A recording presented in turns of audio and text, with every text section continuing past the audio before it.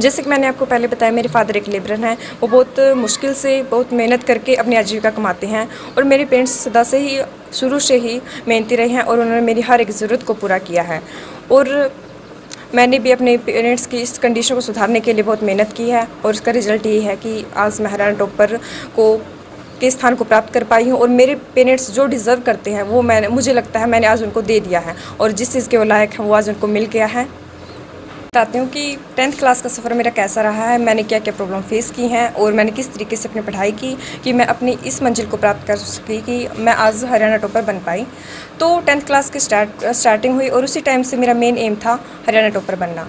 पता नहीं क्यों मेरे मन में ये इच्छा थी कि मुझे हरियाणा टॉप करना ही है, चाहे कुछ भी हो जाए। और तभी से मेरे अंदर एक लगन पैदा हो गई कि मुझे अपने इस एम को प्राप्त करना ही है, चाहे कुछ भी हो जाए। और तब से ही मैंने अपने हर एक बुक को अपना फ्रेंड बनाया और मैंने अपनी हर एक बुक को ध्यान से पढ़ा और जो कुछ भी मुझे समझ में नहीं आता, मैं उस डाउट को अपने टीचर्स के पास ले जाती ताकि वो मेरा डाउट है कंसेप्ट है, वो हर एक चीज़ क्लियर हो सके। और मेरे टीचर्स इतने मेहनती हैं, मेरे हर एक क्वेश्चन का, हर एक डाउट को क्लियर करना और अपने, मेरे हर एक क्वेश्चन का सेटिस्फैक्ट्री आंसर देना तो कोई उनसे सीखे। उन्होंने इतने अच्छे सेटिस्फैक्ट्री आंसर दिए हैं कि मैं बहुत अच्छे से अपने एग्ज़ाम को कंप्लीट कर पाई, अपने एग्ज़ाम में टीचर्स जो चेकर हैं, उनको भी संतुष्ट कर पाई अपने आंसर से। और ये सब देन है, सिर्फ़ और सिर्फ़ मेरे टीचर्स की। हमारे जो स्टाफ वाले टीचर्स हैं, वो बहुत अच्छे हैं उन्होंने वो बहुत मेहनती हैं और उनकी लगन के कारण ही और उनके मेहनत के कारण ही आज ये दिन मुझे देखने के लिए मिल मिल रहा है कि आज मैं हरियाणा टॉप कर चुकी हूँ।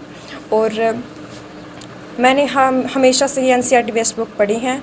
कभी भी मैंने इन चीज़ों का अवॉइड नहीं किया। मुझे हमेशा से ही ये बुक्स पढ़ना मतलब मेरे लिए इन बुक्स को पढ़ना एक मस्ट था कि हाँ मुझे पढ़ना ही पढ़ना है। और मैंने सिर्फ़ एन बेस्ड बुक पढ़ी और अपने हर एक कंसेप्ट को टीचर्स की हेल्प से क्लियर किया। और जो भी मुझे हाई या लो लेवल की बुक मिलती, मैंने उनको भी बहुत उठाया, बहुत पढ़ा, ताकि मुझे अपने काम की जो भी चीज़ है वो अच्छे से मिल सके। और मुझे मिली भी बहुत। और जो चीज़ नहीं आती, मैं अपने टीचर से पूछती, चाहे हाई लेवल की हो, चाहे लो लेवल की हो, मैंने हर एक चीज़ को एक बार समझा और उसे पढ़ा और उसी का ये रिज़ल्ट है। और मेरा जब सेशन स्टार्ट हुआ था, तभी से मैंने मेहनत स्टार्ट कर दी थी और मेरे टीचर्स का बड़ा सपोर्ट रहा है। उन्होंने मेरे हर एक कंसेप्ट को क्लियर किया और उसके बाद फिर मैं अपनी मेहनत करती रही और टीचर्स ने मुझे बहुत सपोर्ट किया और एट लास्ट मेरे एग्ज़ाम्स हुए और बहुत अच्छे हुए और उनका ये रिज़ल्ट है कि मैं टॉप कर चुकी हूँ और मैं आप जो भी मेरे जूनियर्स हैं, उनसे यही कहती हूँ कि आप बड़ी मेहनत करें, मेहनत और लगन से काम करें और जो आप चाहते हैं, आप उसको प्राप्त कर सकते हैं। इसमें कोई संदेह की बात नहीं है। और आप इतना, आप इतनी मेहनत करें, इतनी मेहनत करें कि आपको एक दिन के चौबीस घंटे कम पढ़ने लगें और आपके मन में क्वेश्चन उठे कि एक दिन में चौबीस घंटे क्यों होते हैं? ज़्यादा क्यों नहीं होते? और जब आपके मन में क्वेश्चन उठेगा तो आप समझ लेना कि आप अपने जो एग्ज़ाम्स हैं उनकी प्रिपरेशन बहुत अच्छे से कर पा रहे हो। सच्चे मन से मेहनत करें आपको सक्सेस होने से कोई भी नहीं रोक सकता। तो आपका एम क्या है? मेरा एम प्राइम मिनिस्टर बनना है। प्राइम मिनिस्टर का जो ख्वाब है वो कैसे मतलब थ्रू यू पी मुझे प्राइम मिनिस्टर की स्टेज तक पहुँचना है और वहाँ पर जाकर मुझे अपने समाज के लिए कुछ ऐसा करना है जो आज तक किसी ने ना किया हो। मुझे अपने समाज में बहुत अधिक सुधार करने हैं ताकि भारतीय समाज एक मिसाल बन जाए। तो आपके फादर साहब क्या करते हैं? मेरे फादर एक लेबर हैं।